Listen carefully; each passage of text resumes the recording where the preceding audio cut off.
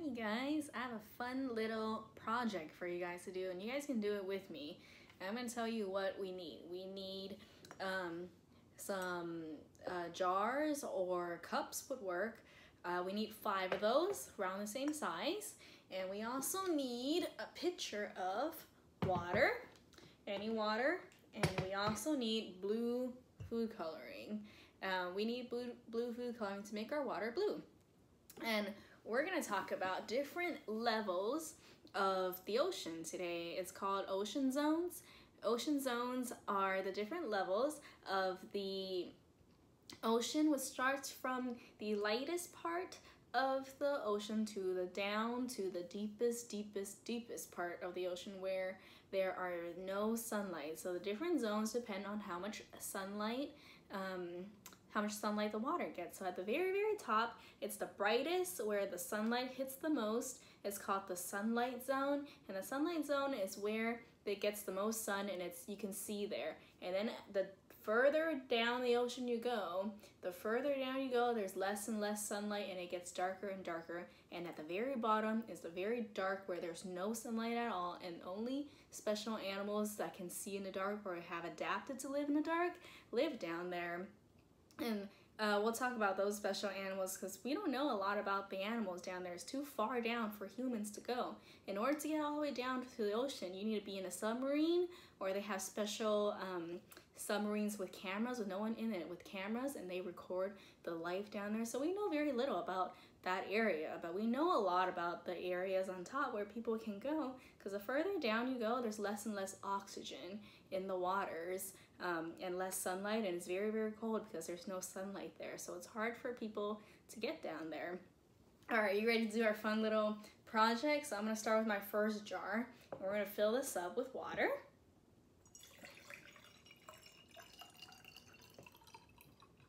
There we go, that's filled up. Actually, we'll just fill up all our jars with water.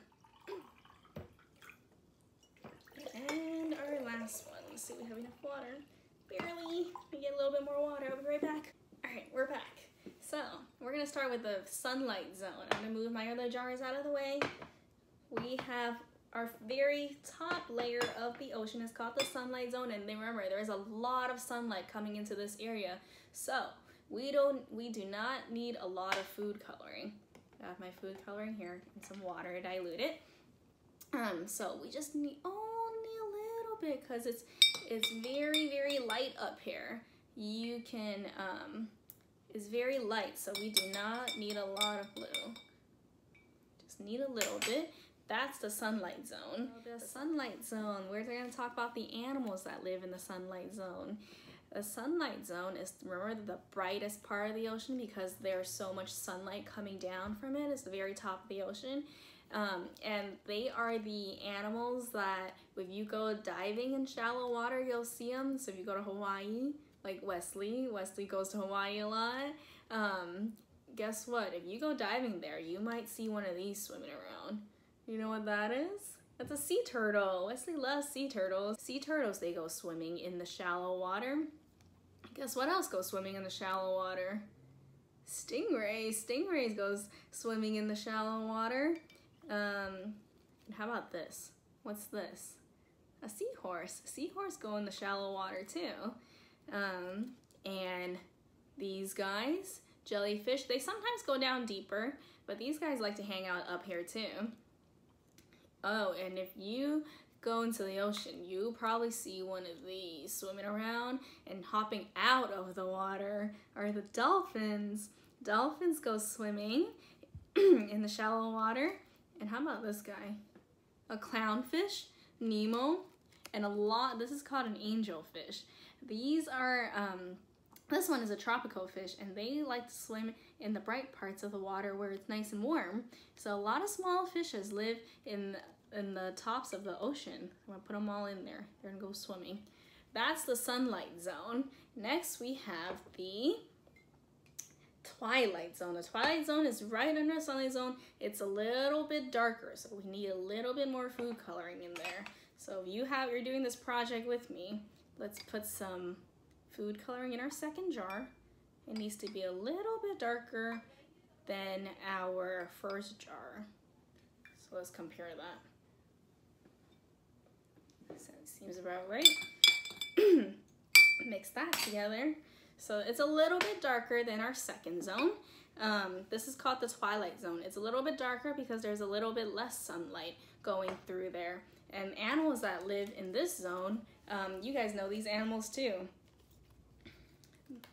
There's a whale. Whales, they can go between the zone. These all these animals that I'm talking about, they can go between the different zones. They don't have to stay in there, but they prefer to stay there. But they can come up too, like whales, humpback whales. They come up sometimes, and you see them. If you some people go whale watching, and you can see these guys swimming. That's a humpback whale. They're they like the they like uh lower. Let's see if he fits. He's a big guy. They like to go lower, but they sometimes go up too. And how about how about this guy? The shark. Sharks, they go a little bit deeper. They're in the twilight zone, or they can go down a little deeper too. But they they hang out here, and there are also fishes, different types of fish that that hang out in this um, part, so that sharks are gonna eat them. Um, and how about that? Do you know what that is? That's a giant squid. Giant squids hang out in this area too. Ooh, there's a lot of big animals in this area. Let's see if they all fit in my jar. And this guy, crabs. Crabs are special because they can go on land, they can go in the shallow water, and they can go down a little bit deeper too. But they go between the zones and they can go on land. They can you can see them on beaches sometimes. Those are cool. Those that's a special type of animal that can travel between the zones. It can go on top of the water, it can go back on land. So my sunlight zone, my and my twilight zone. And next, my next jar, next is the midnight zone. The midnight zone is a little bit darker than the twilight zone. So we're gonna go from light to dark to darker. So let's see how much food coloring we need to put in here to make it darker. One, two, three, four, needs to be a little bit darker five, maybe one more drop, six, seven. All right, there it is. It's a little bit darker. This is called the midnight zone. Sunlight zone, twilight zone, midnight zone. And the midnight zone, I have some animals here that live in the midnight zone. There is that guy. That's a starfish. Starfish, they hang out here on a rock. And here's Mr. Octopus. They hang out in the midnight zone. And this guy. Do you guys know what that guy is? That's an electric eel. It's like the snakes of the ocean. They slither around, they swim around, and they give an electric shock. They hang out in the midnight zone too. Don't touch those guys, they're gonna shock you. That's the midnight zone.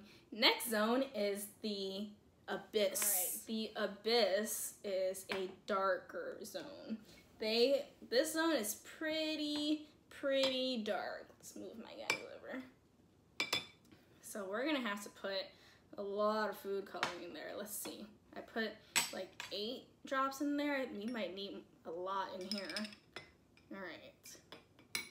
One, two, three, four, five, six, seven, eight, nine, ten. We might need a little bit more. Eleven, twelve, thirteen. Maybe we need one more. 14, 15. Oh, it's getting pretty full.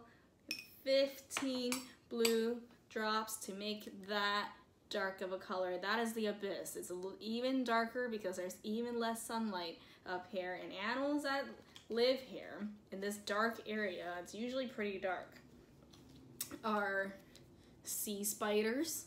Sea spiders hang out in the dark parts of the ocean. And this guy that's a cool looking fish.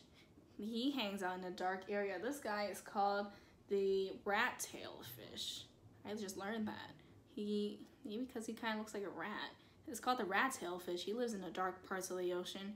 And this guy who is very special, he goes between the abyss and the trenches, what we'll talk about next, is the anglerfish. He's very, very cool because he lives in such a dark area. Look, he has a little light on top of his head that he can turn on. It's called bioluminescence. Remember that word from the fireflies? Um, fishes have bioluminescence too, especially those who live in the dark parts of the ocean. So this anglerfish can can make himself glow, and which is called bioluminescence. He hangs out between this area, the abyss, and the darker area, which we'll talk about, are the, called the trenches, and they are very, very dark. There's very little sunlight or no sunlight at all. So these guys, they can bioluminesce. They can they can make them make light to help them see in the dark. So they have adapted to learn to know how to live in the dark. So he hangs out here, and I'll put him in our dark. Maybe I'll put him. I'll put him here. See if he fits. He's a big fish. Here we go. And the last part of our ocean is very, very dark. It has no sunlight. It's so dark that is so hard to see and special, uh, we need special equipment to see the animals that go down, to see the animals down there. So this is a very dark area. So we'll have, to, we'll go straight from the bottle. We'll put, we'll start with one drop. Let's see how dark it gets. Stir it up. Oh, we need way more than one drop to make it that dark. Let's put another drop of blue food coloring in there. Maybe two drops because it's so deep and dark down here. Stir it all up. Ooh, it's getting dark. I think maybe we need another drop. Let's see how dark we can make this blue. It's so dark that it might be almost black. This area is called the trenches and it's a very, very, very dark area. And animals that live here, they need to learn how to adapt and live in the dark. Because all these animals, they need to be able to see, like the shark um, and the whale and crabs and the tropical fish, they need to be able to see. If they live all the way down here, they can't see. So the animals that live here have adapted to learn how to live in the dark and see in the dark because um, uh, it's so dark. There's no sunlight. So they're special fish. We don't know about a lot about the animals that live down here because it's um, there's no sunlight. It's very cold and it's very very deep. So we need special special equipment to um, to learn about the animals that live down there. But one of them is a sea cucumber. We know these guys. These guys don't move around very much, so they don't really need to see. They hang out at the bottom of the ocean and they wait for food to come to them. Then they're spiky to protect them from other animals that eat them. That's a sea cucumber. Um, this guy, he's kind of cool. I, he he is called the gulper eel. I think he can light up soon. He has very, very sharp teeth. He has very sharp teeth that um, he uses to eat other animals down there. And this guy, he's a cool fish. I just learned about him. This guy with the three long things coming down is called a tripod fish he's called a tripod fish because he has three. One, two, three. Three of these um, kind of like tails. They, um, three or tri, tripod fish. They kind of looks like a tripod that you put a camera on. Um, that's called a tripod fish and he lives down here. So we don't know a lot about the animals that live down here, but we do know some. And because look, it's so dark, you can barely see the animals in there. Um, that's the Twilight Zone. And the Twilight Zone and the Abyss are both very, very dark. The Abyss is a little bit brighter, but it's still very dark. Can't really see the animals in there. Um, and then when you're coming up into the Midnight Zone, see if you can see my animals swimming in the Midnight Zone. There's the eel, and there's the octopus and the starfish that are in the midnight zone. And a little bit lighter is the squid, the whale, the shark.